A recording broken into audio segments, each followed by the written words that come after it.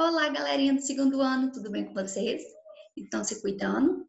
Muito bem, continuem se cuidando e fazendo todos os cuidados necessários, ok? Agora vamos falar das nossas atividades de hoje. Hoje tem bastante leitura, é uma história linda que vocês vão descobrir coisas muito interessantes, que vai da página 98 a 101. No momento da leitura, vocês podem convidar o papai e a mamãe para ler junto com vocês. Cada um lê um parágrafo da história. Assim a leitura fica muito mais divertida e prazerosa. Após a leitura, nós vamos fazer a interpretação do texto. A Lívia vai mostrar para vocês agora. Essa é a página 102. A número 1 diz assim: O que o elemento mágico, que elemento mágico aparece na história? Vocês vão ler e vão descobrir. 2. Qual é o fato gerador apresentado no início? Como que vocês vão responder a número 2? Vocês vão ler a parte que o pai da moça fala alguma coisa para o rei. Vocês vão descobrir o que ele conta para o rei e vão colocar aí, ok? 3. Quais são os obstáculos a serem superados pela moça? O que ela promete em troca da ajuda do anão? Vamos lá para número 4 agora.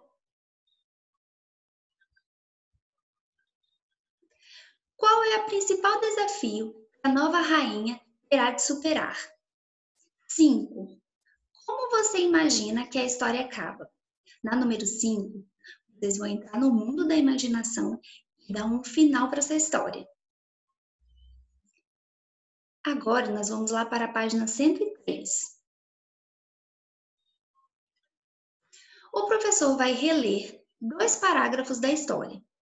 Faça um traço onde o professor parar. Grife o que o professor solicitar.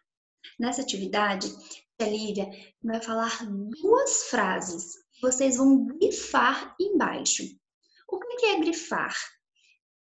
É dar aqueles tracinhos embaixo das palavras. Lembraram? Então vamos lá. A primeira frase é: A pobre moça sentou-se num canto e por muito tempo ficou pensando no que fazer. Esta é a primeira frase.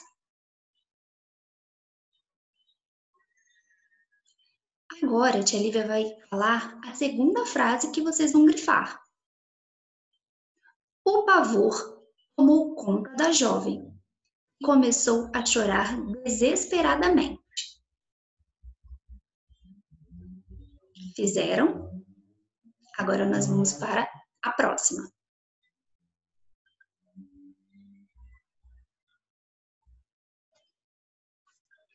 Faça um traço onde o professor parar. Grife o que o professor solicitar. Nessa daqui, ele vai falar palavras soltas, não vai falar frase, apenas palavras. E vocês vão grifar embaixo, combinado? Vou falar bem pausadamente para vocês irem achando as palavrinhas. A primeira palavra é manhãzinha.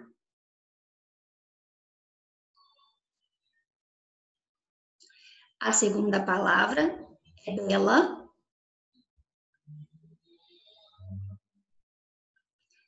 Terceira palavra é linda.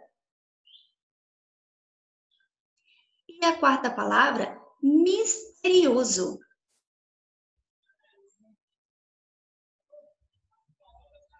E a nossa última questão é a seguinte: complete o ponto final. Complete, desculpe. O ponto final serve para. Vocês vão rever o videozinho que Tia Lívia postou explicando sobre os, sinais de pontuação e vão responder essa daí.